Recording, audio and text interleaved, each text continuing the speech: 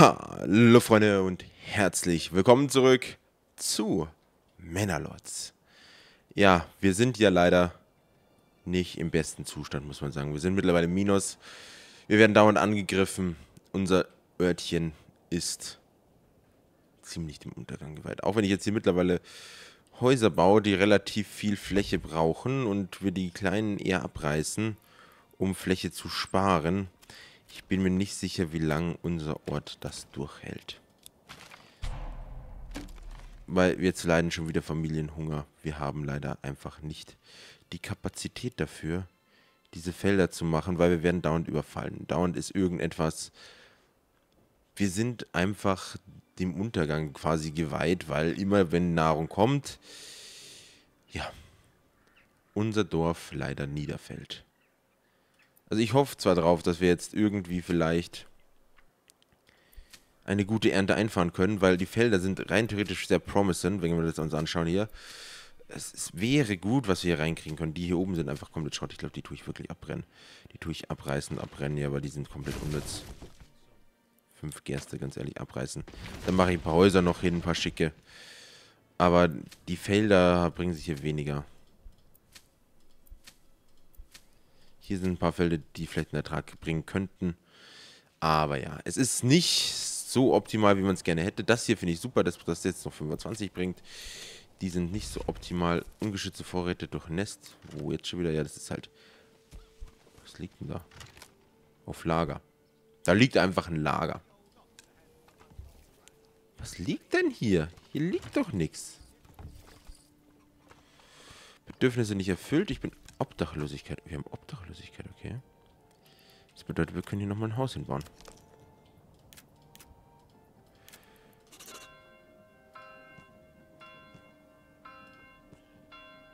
Er wird mir hier wieder sagen, bau drei. Nein! Oh. Stopp. Abreißen.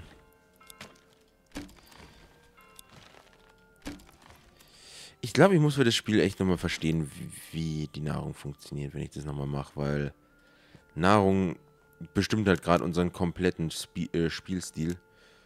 So, jetzt ist die Frage, ist das mehr oder weniger? Nee, das passt schon so. Und somit eigentlich auch das komplette Spiel, weil wir einfach nicht selber wirklich viel machen können. Und das macht es halt echt ein bisschen anstrengend auch. Also muss man ehrlich auch sagen, es ist halt einfach aktuell anstrengend. Wir haben zwar schöne Wälder erzeugt, absolut. Aber sonst halt nicht wirklich viel. Wo ist denn unser Holz vielleicht? Ist der noch immer im Dorf? Ja, den habe ich noch im Dorf. Du kriegst jetzt von mir einen begrenzten Arbeitsbereich. Arbeite fürs erste Mal wieder bitte hier. Reduzieren das Ganze. Felder drin. Es ist halt leider echt so, dass das nicht so läuft, wie man es gerne hätte. Ich hoffe, dass das sich mit der nächsten Zeit ein bisschen ändert wieder. Ähm, Stück für Stück. Schau mal, die könnten jetzt hier auch zum Beispiel eine Farm machen, aber dafür fehlt uns jetzt wieder Geld. Weil wir einfach nicht genug mehr auf Lager haben. Ja, es sind halt diese Kleinigkeiten, die uns dann leider doch ein bisschen was kosten. Schau mal, Handelbretter. Kann ich mir nicht leisten, weil ich kann es nicht handeln. Ja. Ich tue immer noch den Weizen importieren, kann das sein? Ne, kein Handel, aber ich könnte. Fleisch habe ich einen Import immer noch aktiv. Den machen wir keinen Handel. Weltweites Marktangebot, kritische Nachfragepreise sind deutlich erhöht. Ja, ich habe keinen Fisch leider. Ich habe ja keine Fische. Ich würde gerne, aber ich habe keinen Fisch. Eisen muss ich jetzt auch mittlerweile einstellen, weil Eisen habe ich nicht mehr so viel. Ähm, ich kann auch keinen anderen Handel gerade machen. Eisenteile. Brennholz, Garn hätte ich viel auf Lager. Aber ich habe leider nicht die Mittel gerade. Schauen wir, was passiert, wenn ich auf 150 mal reduziere. Wenn ich jetzt zum Beispiel sage, ich will Eisen importieren, Eisenerz kostet mich zum Importieren allein 13. Wie soll ich denn da draus einen Gewinn machen? Ich habe einen Eisenbahn gerade auf Lager. Ich brauche diese Minen rein theoretisch sehr dringend. Bloß die Meinung fällt halt von mir, weil die Besteuerung so hoch ist, weil wir irgendwie Geld brauchen. Ich glaube halt ehrlich gesagt, dass das Lost Cause mittlerweile ist und wir echt sehr knapp davor sind. Also ich hoffe, dass wir jetzt die Nahrung diesmal dingsen können, ansonsten drehe ich eh, eh echt durch. Ähm, ich weiß nicht, was ich tun soll oder ob ich heulen soll. Äh, das werden wir dann sehen, würde ich sagen. So, gut. Hier, schau mal. Wir haben hier Felder mit wirklich gutem Ertrag dabei. Wenn wir das Ganze farmen könnten, würden, würden wir, glaube ich, keine schlechte Erzeugung machen. Und hier sind es 10%. Also das ist...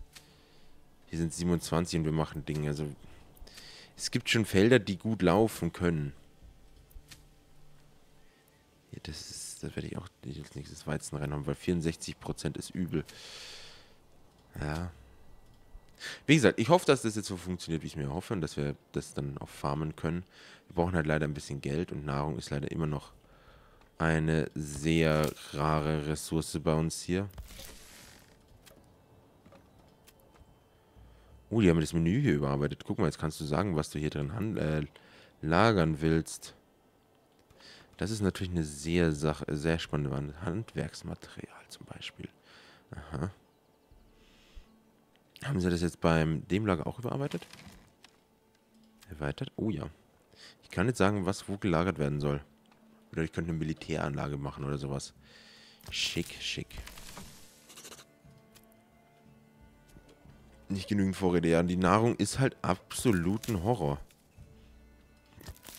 Kannst du sagen, was du willst. Habe ich nicht irgendwo nochmal einen Jäger gebaut, weil ich wissen wollte, was passiert?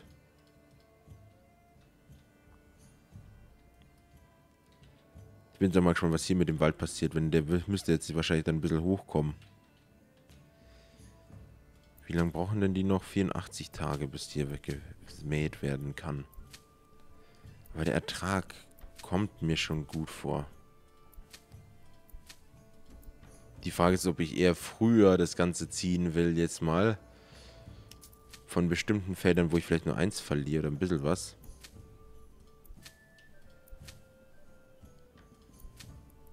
Weil schau mal, dich kann ich doch mittlerweile... Feld wird sofort abgeerntet, ohne die Erntezeit abzuwarten. Kommen die jetzt?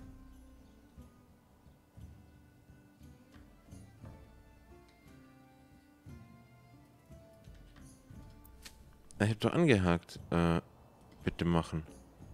Warum kommt da jetzt zum Beispiel keiner? Ich habe doch extra darum gebeten. Ich will's nicht abbrennen. Ich will's farmen. Oh, da kommen die ersten jetzt. Schauen wir, ob wir noch so ein Feld haben. Dich zum Beispiel.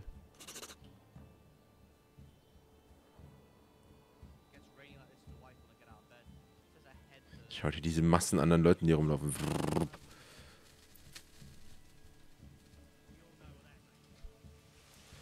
So, die Leute holen das jetzt.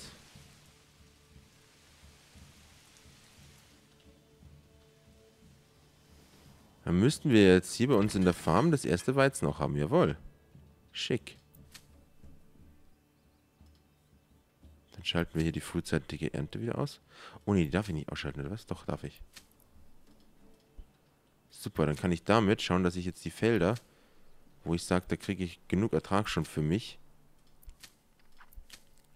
Das da würde ich jetzt gerne äh, schon mir holen.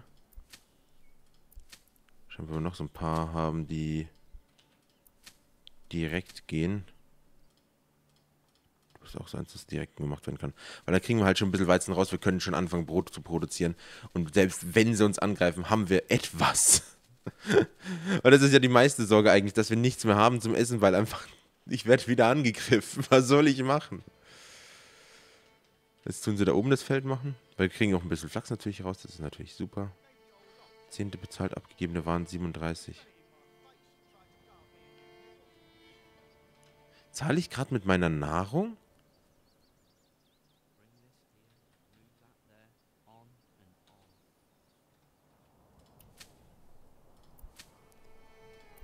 Zwischendurch mal schauen, was hier passiert. So, jetzt machen wir natürlich für die frühzeitige Ernte aus.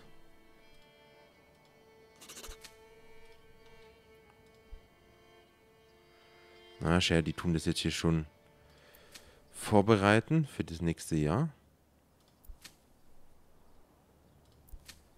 Ach nee, das wird dann nochmal geerntet, oder was?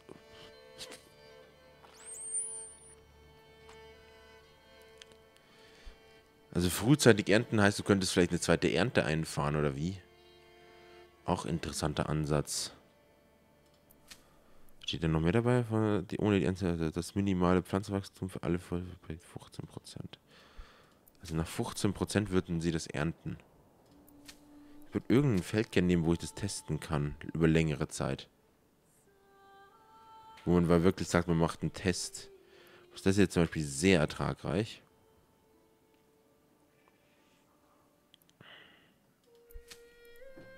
Muss ich ja leider sagen. Also ertragreich ist es sehr, sehr groß. Das... Mm,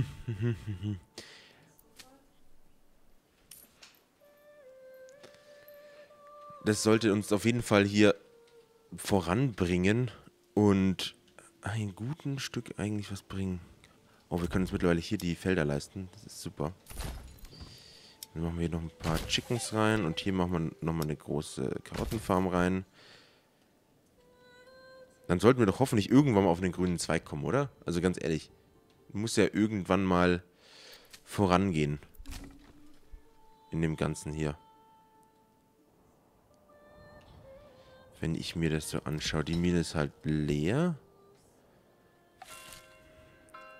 Irgendwo, ah ja, langsam haben wir wenigstens mal die Schulden beglichen. Aber ich glaube nicht, dass wir das in 177 Tagen so weit kriegen, dass wir gut im Plus sind. Und die Leute sind immer noch sehr, sehr unzufrieden mit dem, was eigentlich aktu aktuell passiert. Ich müsste die Kirchenstufe rein theoretisch mal erhöhen. Dafür müsste ich halt jetzt einen komplett neuen Zweig hier mit dem, mit der, mit dem Lehmvorkommen aufmachen. So.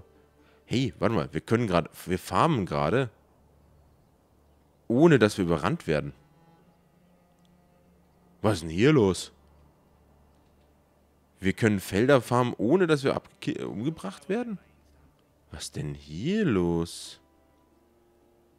ist ja ganz erstaunlich. Ich bin gerade baff. Ich bin gerade richtig baff. Hätte ich nicht erwartet, dass wir das machen dürfen. Ertrag 0. Sie können es doch bis zum nächsten Jahr gleich stehen lassen, oder? Oder ist das dann ein Fehler?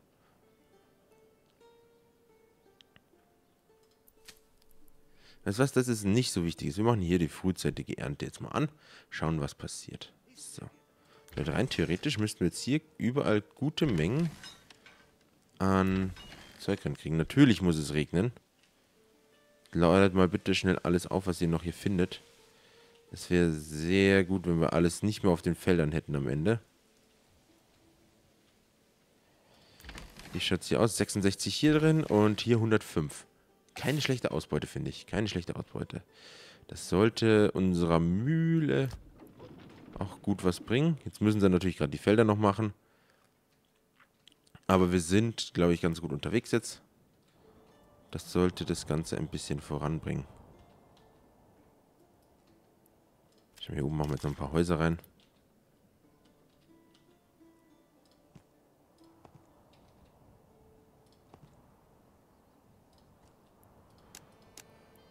So, brauchen wir auch noch ein großes Haus hin. Die kriegen dafür noch Zusatzleute rein. Du auch. Mal schauen, wie schnell die Felder jetzt werden. Jetzt, ja, mit der Masse. Okay, ich habe auch zwei volle Bauernhöfe, ne? Für die Felder jetzt. Ich habe schon ordentlich reingetrieben auch. Das bringt mir jetzt fünf. Alter Verwalter.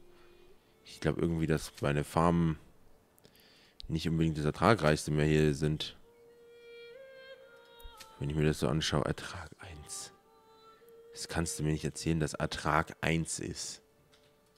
Das, guck dir das an, das ergibt absolut keinen Sinn.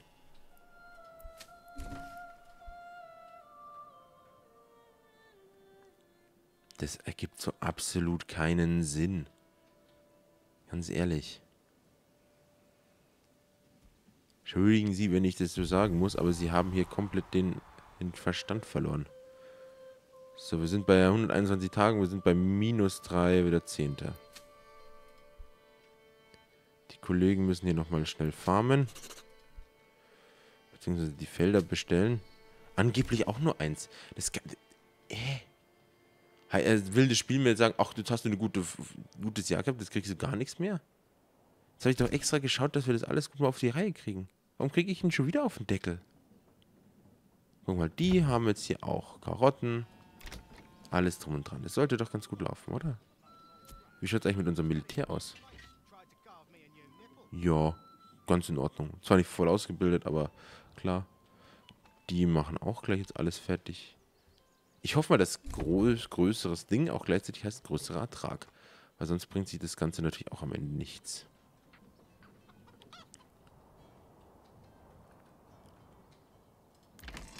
So, die machen jetzt daraus das. Der Kollege produziert jetzt Mehl.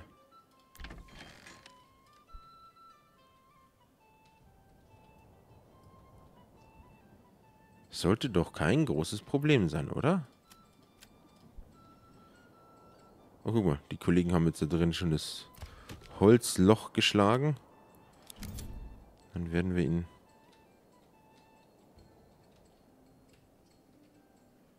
hier hinten mal den Wald aufgeben. Dann können unsere Kollegen von dem Forsthaus sich um das Ganze kümmern.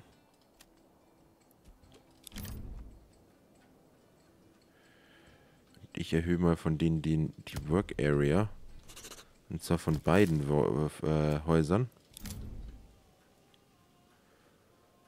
Die soll nicht relativ viel machen dürfen. Weil ich tue dann einfach immer überall das Bauernhaus oder mal den Förster hinsetzen und sage, äh, äh, oder unseren Holzfäller und der soll dann halt da und dort mal was machen. Der große Speicher hat jetzt schon relativ viel Mehl drin. Der sollte uns Mehl machen, wie blöd, hoffe ich doch mal. Auf jeden Fall kommt hier Mehl raus, das ist super. Also ich glaube, wenn er genug kriegt, sollte das absolut kein Problem sein. Dann können die Kollegen hier von der Stadtbäckerei hoffentlich auch gleich mal ähm, uns ein gutes Brot machen. Und dann sollte das mit der Nahrung hoffentlich in die richtige Richtung gehen. Ähm, aber ich glaube ehrlich gesagt, dass das bei uns relativ, oder dass ich das relativ schlecht gemacht habe. Ganz ehrlich. Ähm, mit dem neuen Fisch, glaube ich, könnte man da viel machen, aber wir haben leider halt auf dieser Karte keinen Fisch, weil die wurde ja davor generiert und ich glaube nicht, dass das nachgeneriert wird. Ich sehe auf jeden Fall hier keinen Fisch. Leider. Ich glaube, sonst habe ich mich relativ gut geschlagen. Also Nahrung, ja, ist richtig schief gelaufen. Ich glaube, da habe ich ein paar bad Entscheidungen getroffen auch.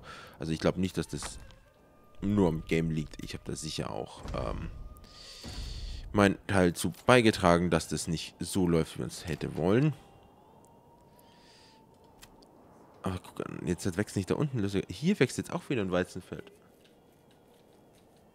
Oder muss ich immer wieder die Weizenfelder umziehen? Guck mal, jetzt ist hier zum Beispiel ein rechts roter Einfluss. Aber hier ist grün.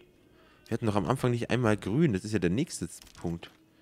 Weswegen ich jetzt eigentlich hier... Guck mal, was hier Roggen ginge. Hier wäre Roggen gut. Früchte in Arbeit. Ja, okay, Früchte sind noch... Gerste. Gerste habe ich ganz schlecht. Hier Flachs habe ich hier vielleicht ein bisschen Möglichkeit. Weizen, ja, habe ich auch nochmal in 1, 2 Spots. Gibt es hier auf der Karte... Schau mal das Gebiet an. Das ist komplett grün.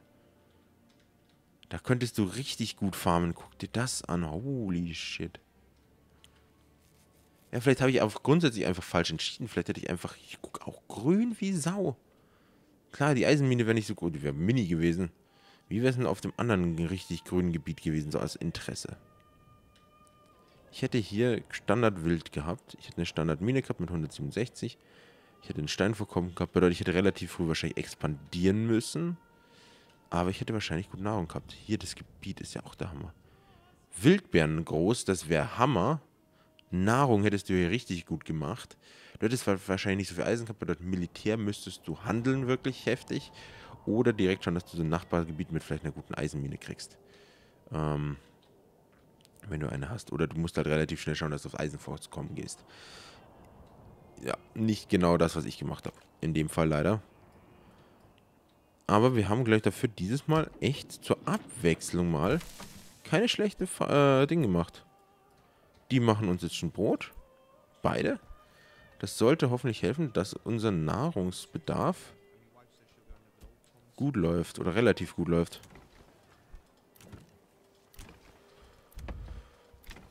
Ah ja, ich weiß nicht, ich weiß nicht, ich weiß nicht. Es ist nicht so gelaufen, wie ich es gerne gehabt hätte.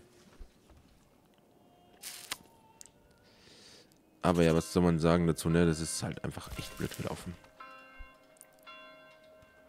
Aber solange wir wenigstens mit dem Brot über, vielleicht über den Winter drüber kommen oder sowas, wäre das ja schon mal ein Vorteil. Solange keiner mehr hungert. Und warum blinkt meine Kamera gerade? Ich habe irgendwas gesagt, was sie interessiert hat. Ähm, glaube ich, sind wir da ganz gut auf einem Weg. Und wenn wir die Möglichkeiten haben, den Winter zu überleben, wir sind schon im Februar, das ist ein gutes Zeichen. Und wir haben bis jetzt keinen Hunger gehabt. Das bedeutet, wir könnten hoffen, hoffentlich mit der Nahrungsproduktion, weil wir haben immer noch 184 auf Lager an Mehl, es in den Sommer schaffen. Und ich habe jetzt rein theoretisch echt viel Gelände mit. Wir bloß, schauen wir mal an, eins von zwei. Ey, was will denn der mich verkackeiern? Das kann doch nicht sein. 22% ist nicht so extrem schlecht. 30% sicher auch nicht. 19. Ja, okay, das ist eine ganz beschissene Idee. Warum habe ich denn das gemacht? Hier 24,1 angeblich. 45%. Und ich krieg nur 7 Weizen. Das kann nicht sein. Also ich sehe mal so, wir sind jetzt immerhin schon ja, okay. Wir werden trotzdem Minus machen bei der 10. Ähm, König ist verschuldet wieder mal. Leider, leider, leider, leider. Jetzt wird es wieder Sommer. Das ist wenigstens ein positiver Teil. Und die farmen jetzt und kriegen sie... Haben sie dann wirklich was auf dem Nach? Ah, schade, die holen jetzt Karotten hier raus. Also jetzt kommt so die Farm... Farmen die jetzt alle ihr, ihr Zeug hier? Scheint so. Also scheinen wir jetzt die ersten Früchte sammeln zu können von unserer Ernte. Ja, die natürlich noch nicht so extrem. Aber ich glaube, selbst die werden jetzt ein gutes Stück... Oder nee, farmen die... Äh, tun die jetzt anpflanzen? Ich glaube, die pflanzen jetzt noch an. Im Gegensatz zu den anderen, die das Ganze jetzt hier sich sozusagen rausholen können. Große Speicher hat immer noch Mehl drin. Aber wir haben schon wieder einen Monat auf Lager. Das ist mal zur Abwechslung nicht schlecht, finde ich.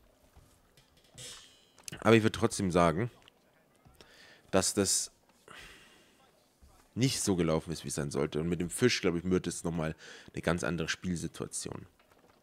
Also allgemein. Ich müsste mein Dorf ein bisschen anders aufbauen. Ich müsste viel größer auf jeden Fall auch die Gebäude hier machen. Ich habe viel zu eng gemacht, weil ich Masse haben wollte auf kleiner Fläche.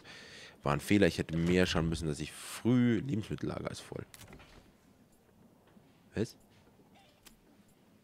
Wait, what? 27 Karotten. Das ist übel. Wurden jetzt die Karotten abgeholt? Nein, noch nicht. Holy shit. Das ist gut. Das ist ein gutes Zeichen. Das sage ich mal so, weil wir kriegen jetzt unsere Beeren rein. Wir haben immer noch 80 Mehl. Bedeutet, wir produzieren immer noch rein theoretisch Brot. Die Leute haben zu viel Karotten. Was ja der Hammer ist. Und die sind einfach stinkesauer. Wegen der Besteuerung. Ich müsste vielleicht schauen, dass ich das irgendwie ändern kann. Weil aktuell sind die alle nicht happy. Bloß wir sind halt einfach im Minus die ganze Zeit. Ganz ehrlich, ich weiß es nicht. Ich weiß es nicht, ich weiß es nicht, ich weiß es nicht.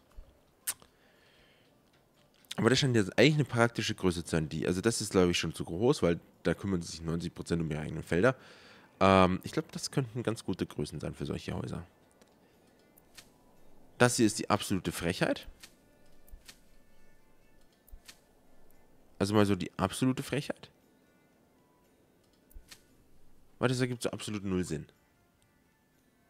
Ein, eins Ertrag. Ich mache nächstes Jahr 20 Weizen von der Fläche, die ich jetzt mit 160 gekriegt habe. Gibt keinen Sinn.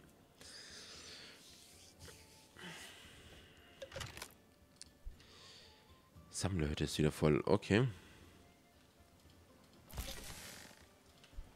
Die müssten eigentlich alle ganz gut unterwegs sein, oder? Grundsätzlich müssten die alle ganz gut unterwegs sein. Ist hier noch eine Ruine, die ich nie aufgebaut habe? Spannend. Ja, ähm... Ich mache das jetzt hier ganz simpel und einfach zum Ende. Ich würde sagen, das war's fürs Erste für dieses Let's Play, denn ich bin der Meinung, wenn, dann müsste ich nochmal von vorne anfangen mit dem Ganzen, was ich jetzt hier gelernt habe. Ähm, wir werden uns immer im selben Kreis drehen, bis ich aus dieser Hölle von Nahrung rauskomme. Sind so viele Folgen vergangen, dass euch das nicht mehr interessiert. Ähm, wir spielen ein bisschen was anderes mal. Ich mache meinen Kopf frei, werde mich ein bisschen vielleicht mit zwischendurch auch privat mit Männerlords mal beschäftigen. Ähm, ihr könnt mir gerne in die Kommentare schreiben, was ihr gerne sehen würdet, obwohl ich werde wahrscheinlich das schon starten müssen, bevor ich, oder? Männerlords ist meine... Nee? Wenn ihr das seht, könnt ihr noch gerne und drunter schreiben, ob ihr eine Idee hattet, was ihr gerne sehen würdet. Weil rein theoretisch kann ich das noch aufnehmen. Also schreibt in die Kommentare, was ihr sehen wollt. Und ich würde sagen, wir sehen uns beim nächsten Let's Play wieder. Ich hoffe, es hat trotzdem gefallen und wir sehen uns, ja, hoffentlich bei einer der nächsten Serien. Also, bis dann.